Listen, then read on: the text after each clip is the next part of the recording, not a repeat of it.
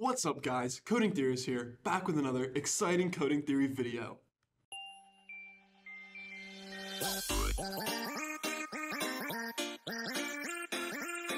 But first, let's thank today's sponsor, Atri's T-shirts.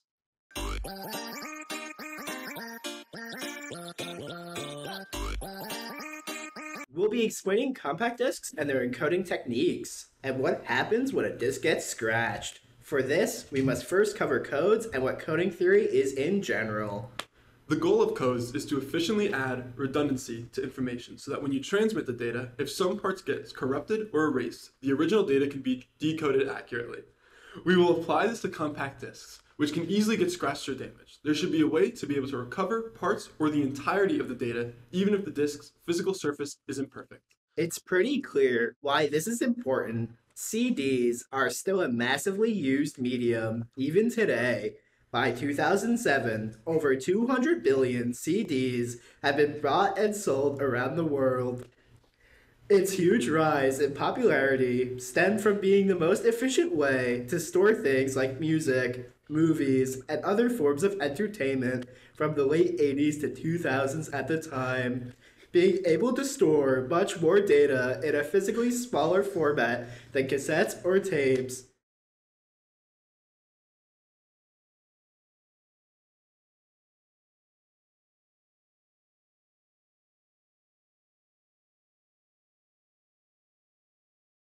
In coding theory, original data to be transmitted is typically referred to as the message.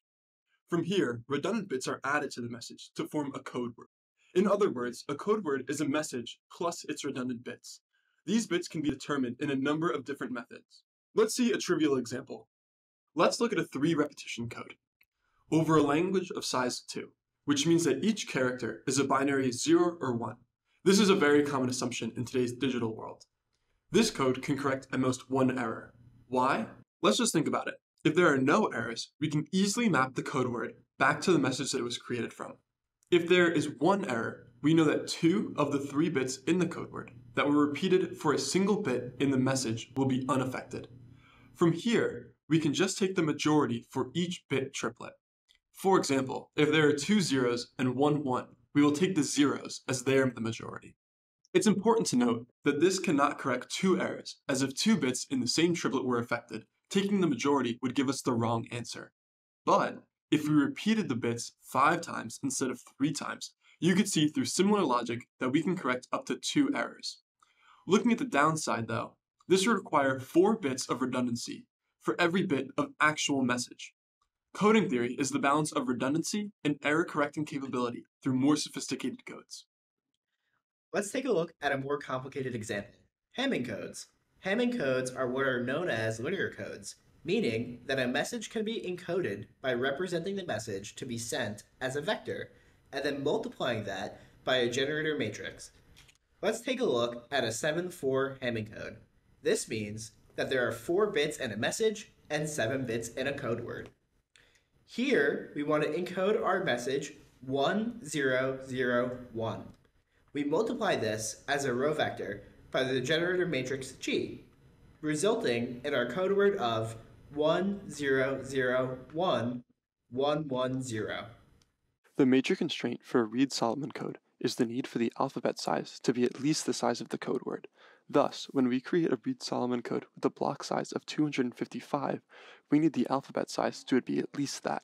Conveniently, a byte, made up of 8 bits, has 256 possibilities, satisfying this requirement. While the generator matrix for a Hamming code relied on parity, the generator matrix of a Reed-Solomon code is a Vandermonde matrix. A Vandermonde matrix is just a matrix in which the entry in the ith row and the jth column is the ith element in a finite field raised to the jth power. Compact disks use specifically cross-interleaved Reed-Solomon codes. What this means is that the data on a disk is not sequentially saved in lines, but rather such that redundant bits are not adjacent to each other. As CDs are most likely damaged by scratches, which can be said to be sequential lines, scratches affect a sequential part of a disk in a specific sector. Thanks to the cross-interleaving, staggering adjacent data bits, a scratch would not entirely corrupt a portion of data like it would if we were to just parity the data adjacent to itself. Just like our previous examples, the Reed-Solomon code is focused on an alphabet size of 2, since we're dealing with binary information. Here, k is representative of the number of message bytes instead of bits as before. n is the code word length, meaning that for any string of k bytes, the Reed-Solomon code adds a total of n minus k redundancy bytes. With this established, we will prove that the Reed-Solomon code can correct up to a number t of errors. In other words, it is t error correcting. Here, 2 times t is equal to n minus k, the number of redundancy bytes, which means that the Reed-Solomon code can correct up to n minus k divided by 2 errors in any message. Since we're transmitting data, we can have symbols of a given size in bits, where the length of a codeword block of n bytes is n equals 2 raised to the s minus 1. A common Reed-Solomon code has 255 bytes in a codeword for a message of 223 bytes. Therefore, this code has a symbol size of 8 bits, since 255 equals 2 raised to the 8 minus 1.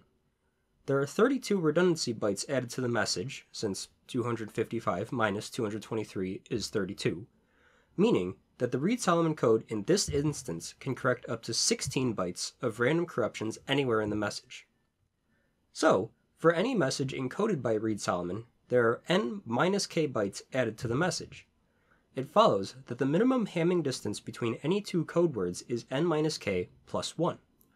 For a code to be t error correcting, we know it must have a minimum distance of 2 times t plus 1.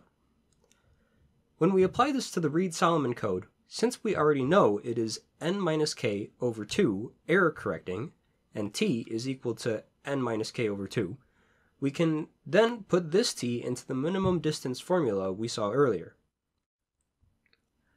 This then becomes 2 times n minus k over 2 plus 1, which, after canceling out the multiply and divide by 2, it reduces to n minus k plus 1, which is what we already saw that the Reed-Solomon code has for minimum distance. This then proves that it is n minus k over 2 error correcting, since we divide the minimum distance by 2 and then take its floor.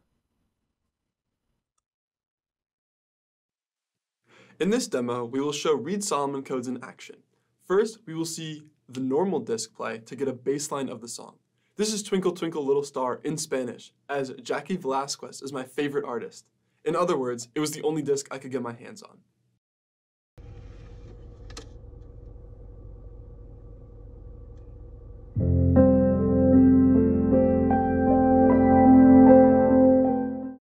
Here you can see me scratching the disc with thin lines perpendicular to the tracks of the disc. Remember that the information on the disc is encoded in rings, starting from the inside of the disc. Reading the disc would take this path. This is what the scratches look like.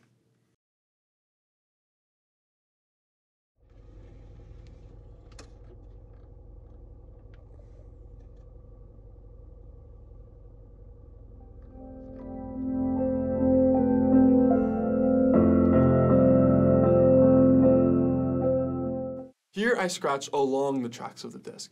While the disc has the same amount of scratching overall, it is all concentrated in one area.